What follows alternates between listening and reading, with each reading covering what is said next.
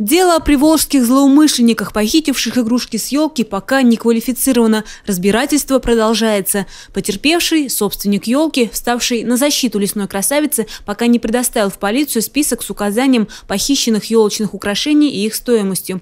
Напомним, нехороший поступок две женщины и мужчина совершили ночью 6 января. Ущерб мог бы быть и более серьезным, если бы владелец елки вовремя не вмешался в происходящее. Пока решение там не принято. Там пока нет справки о стоимости похищенных вот этих елочных игрушек. Собственник должен дать оценку а, вот этим вот похищенным вещам. Да, от этого зависит, что там будет административная ответственность или уголовная.